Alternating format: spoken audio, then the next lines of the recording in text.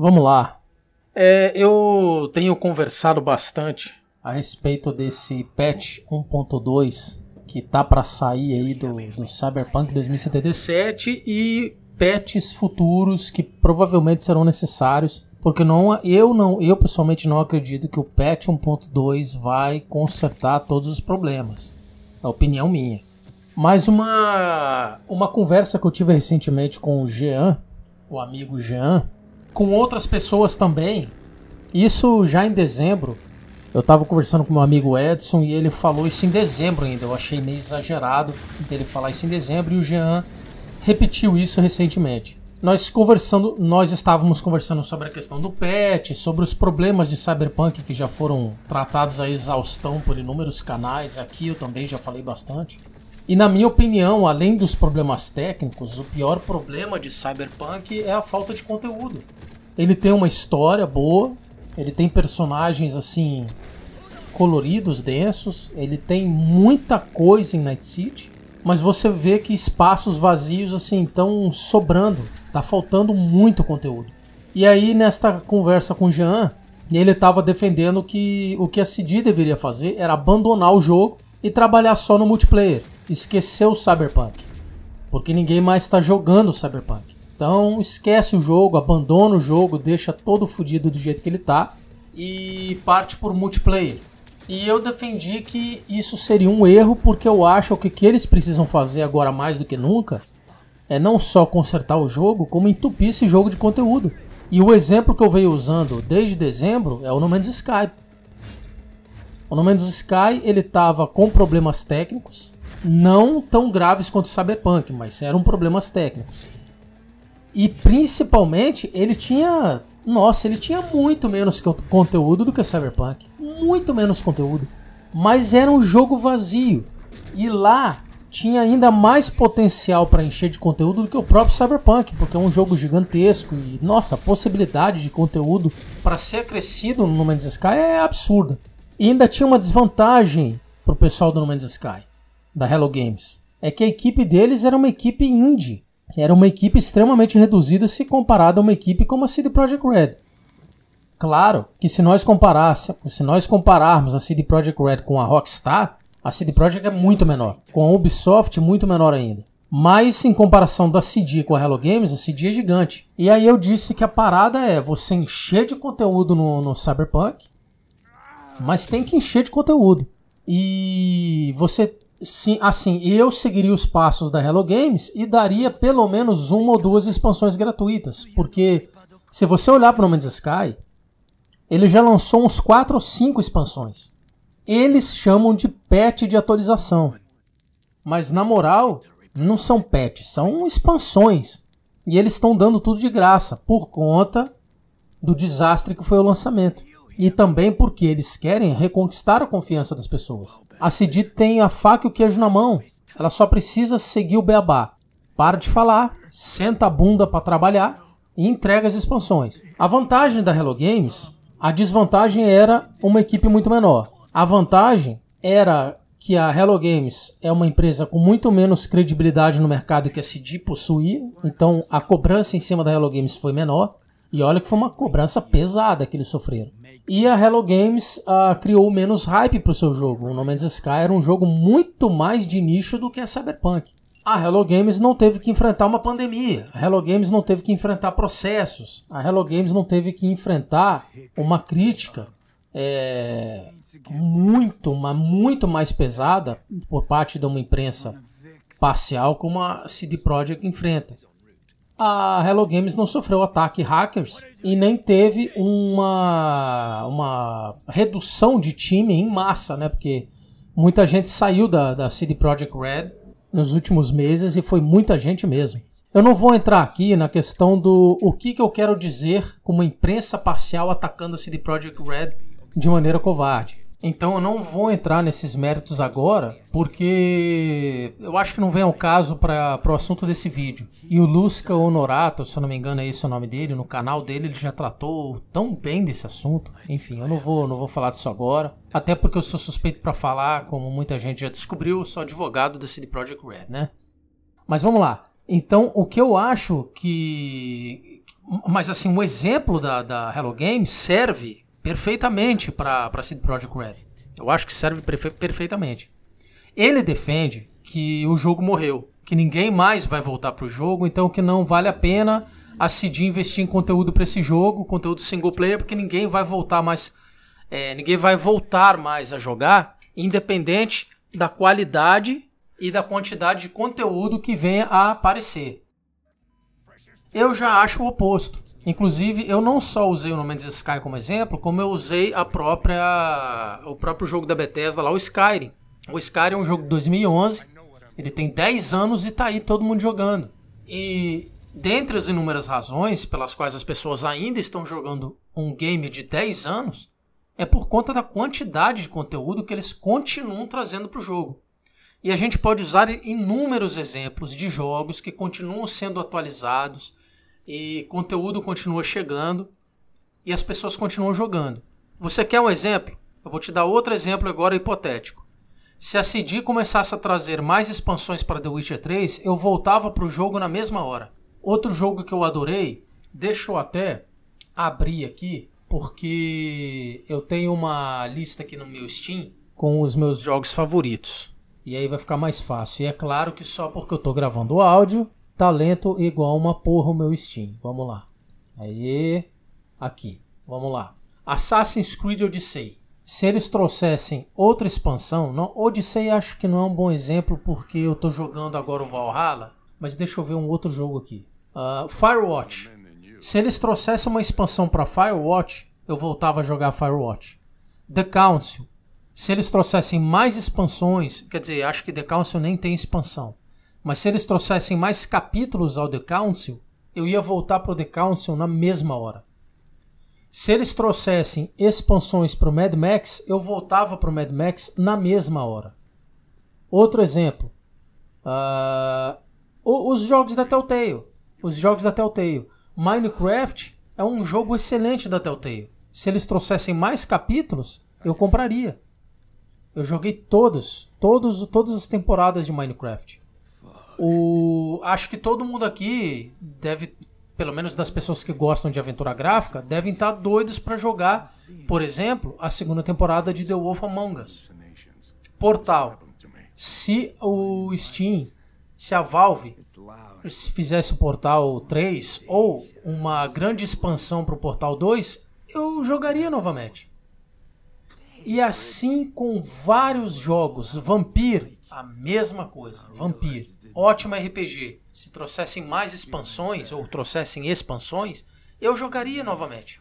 Então, eu penso que você de repente abandonar um jogo single player com potencial que o Cyberpunk 2077 tem, Cyberpunk 2077 é uma joia bruta. Não está lapidada. Tem muito espaço para crescer. Eu recebi uma, eu recebi um WhatsApp do Jean que teriam vazado 10 DLCs. As próximas 10 DLCs de Cyberpunk 2077.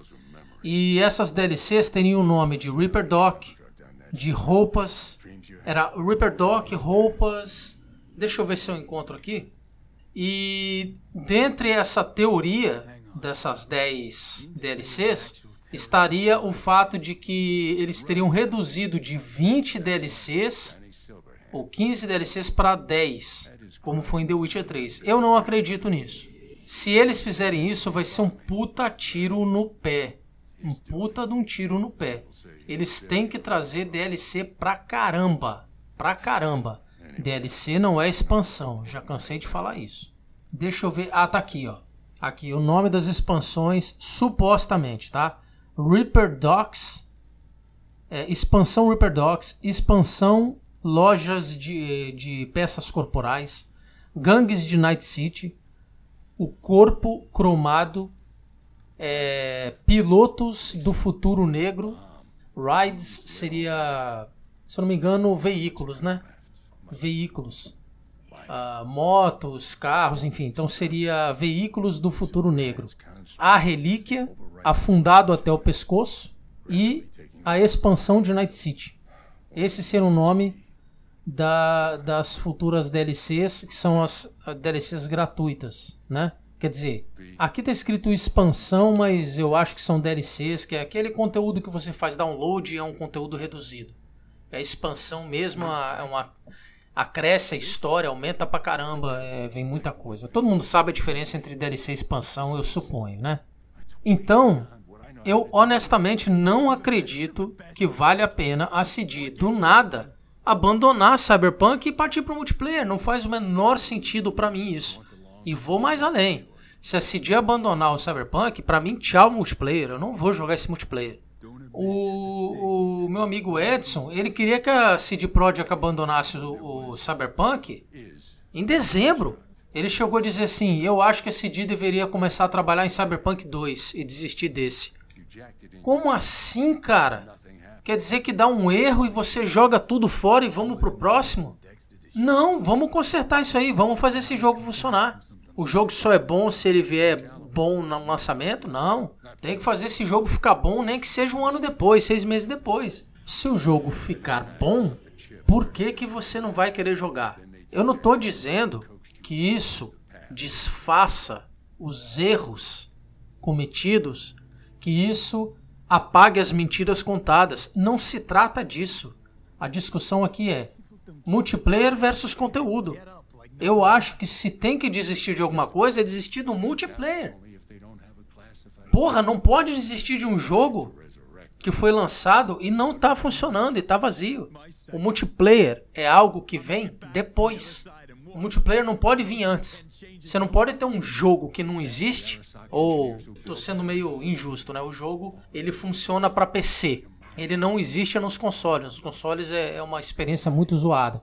Mas quando eu digo assim, não existe, é porque esse jogo ele a gente não precisa ter essa conversa de novo. Todo mundo sabe tudo que está faltando de conteúdo no Cyberpunk. É muita coisa que está faltando. É muito espaço vazio. Então, assim, eu não sei qual é o teu pensamento, mas o meu pensamento é conteúdo. Tem que trazer conteúdo. Eu não vou nem entrar na parte técnica. A parte técnica não é discussão, tem que resolver.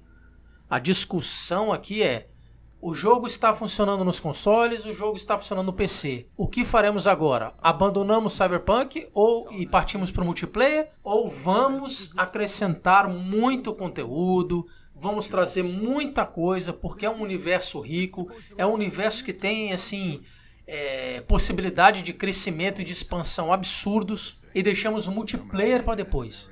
Honestamente, para mim não tem discussão. Foda-se o multiplayer. Foda-se o multiplayer. Aliás, a CD já disse, a CD já deu essa declaração. Esqueça o multiplayer. Nós não vamos pensar em multiplayer tão cedo. Eles, tão, eles tiveram que atrasar as expansões, atrasar as DLCs para resolver o problema técnico do jogo. E aí veio todas essas sequências de fatos que eu também já falei aqui diversas vezes. Uh, queda de ação e por aí vai. É, enfim, é uma, é, uma, é uma onda de merda, uma tsunami de merda, é uma bola de neve e é isso aí. Atrasou tudo. E o que eu penso que a CD tem que fazer é lançar patches que corrijam o jogo nos consoles. No PC tem pouca coisa que precisa ser corrigida. Não está perfeito no PC não, mas está muito melhor que nos consoles. Tem que consertar o jogo nos consoles, conserta os detalhes no PC também e depois, brother, é conteúdo, conteúdo e conteúdo. E vou repetir, deveria vir muita coisa gratuitamente. Muita coisa gratuita. Pelo menos, pelo menos para aqueles que permaneceram com o jogo. Eu acho que deveria vir, é vir para todo mundo.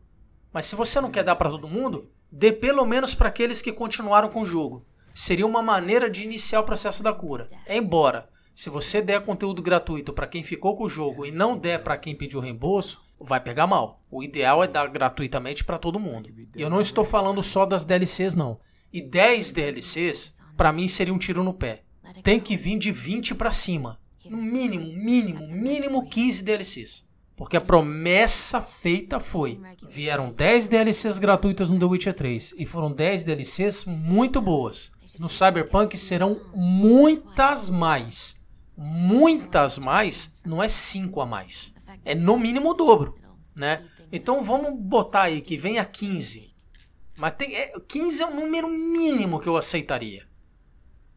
Que eu acho que seria assim coerente com aquilo que foi prometido. O ideal seria 20 DLCs ou mais.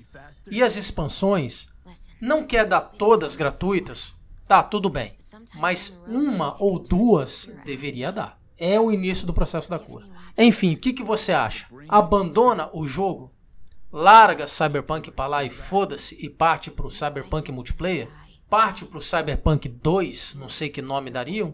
Ou conserta esse jogo e traz muito, mais muito, mais muito conteúdo para ele? Claro, se você pegou tanto ódio, por tanta raiva da CD que não vai nunca mais jogar nenhum game dela e não quer mais saber de Cyberpunk, essa conversa não é contigo, é óbvio. A conversa é com aqueles que estão putos, muito ou pouco ou mais ou menos, mas que gostariam de ver algum Cyberpunk funcionando. Para vocês eu estou perguntando. Multiplayer, esquece o single player, traz o foco no single player com conteúdo ou deixa o multiplayer para lá um pouco e foca em consertar o jogo, trazer conteúdo para o jogo e quem sabe algumas expansões e DLC, é, DLCs, claro, todas gratuitas, e quem sabe algumas expansões gratuitas. O que, que você acha? É, põe o conteúdo na frente e esquece o multiplayer por enquanto? Ou foda-se o single player Dane-se a galera que tem o jogo, manda todo mundo a merda, não mexe mais nesse jogo e só foca no multiplayer. O que, que vocês acham? Bom, espero que vocês deixem aí no comentário, porque eu quero ler, eu quero saber o que vocês estão pensando. Repito, quem discordar de mim, fica à vontade para discordar. Eu só quis dar a minha opinião e dizer a forma que eu penso, beleza? É isso aí, pessoal. Até o próximo vídeo.